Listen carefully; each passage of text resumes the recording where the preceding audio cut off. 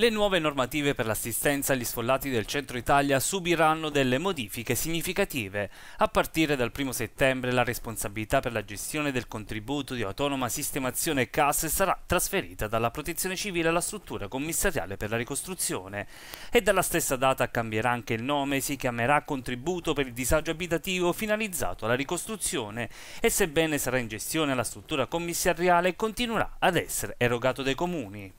Insomma, è una fase di passaggio dallo stato di emergenza che comunque va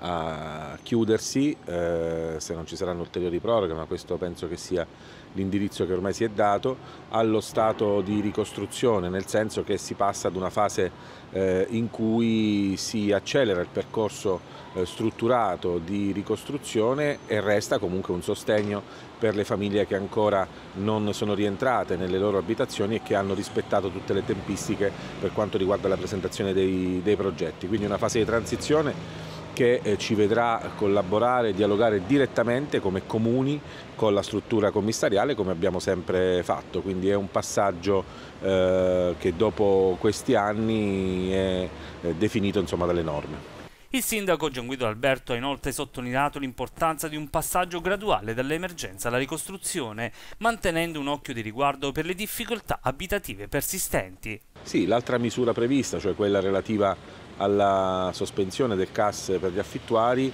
eh, è una misura anche quella insomma, che era un po' nell'aria e che è stata più volte eh, rinviata nel corso del tempo e che a me eh, lascia un po' di preoccupazione con riferimento agli affittuari delle case popolari, in particolare qui da noi delle case ATER che hanno una ricostruzione che di fatto è bloccata e ferma rispetto all'altra edilizia residenziale, quindi dobbiamo avere garanzie da parte del governo che siano tutelate queste famiglie che ovviamente loro malgrado si trovano in una condizione ancora lontana dal rientro nelle loro abitazioni perché non dipende ovviamente da scelte eh, loro ma da scelte del, dell'ente proprietario pubblico e che oggi si trova in grande ritardo.